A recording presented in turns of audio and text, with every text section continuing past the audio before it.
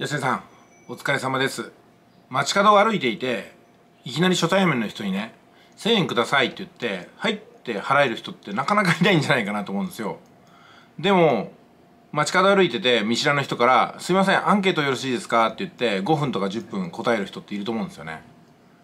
これアンケートに答える方がむちゃくちゃもったいないような気がするんですよ。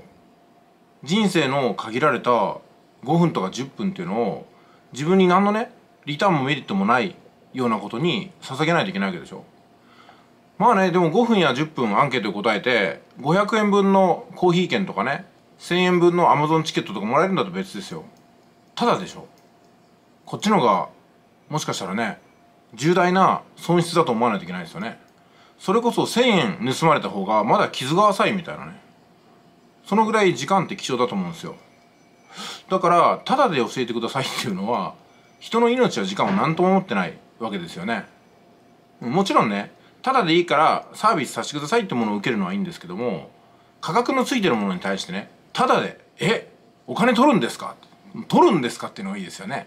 いやお金これやって取る取るっていうことなんですかね。いやお支払いいただくんでしょうん。だからなんかこうお金をもらうのがねなんか悪いことだから低価格になっちゃうとかタダにするっていうのは逆に言うとお金をもらった後の責任が取れないぐらいの腰の引けさなのかなと思うんですよ。堂々と30万50万で値段つけてね。それで買わないんだったらそれは仕方がないなと。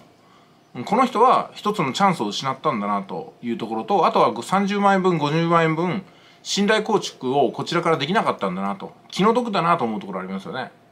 今 FX オリガルヒやってますけどもこれ入った方が絶対いいなと思ってるんですよ。やっぱりこうやってね熟成さん見てて。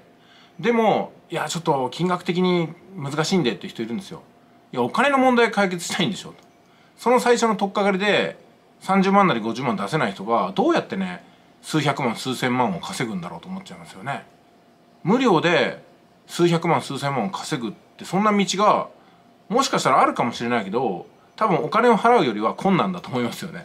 お金払った方が簡単ですよね。だってもう完全に依存できる人を自分が雇うわけですから。プロの上級者を雇うわけですからね。こんな安上がりな方法はないと思うんですけどね。いってらっしゃい。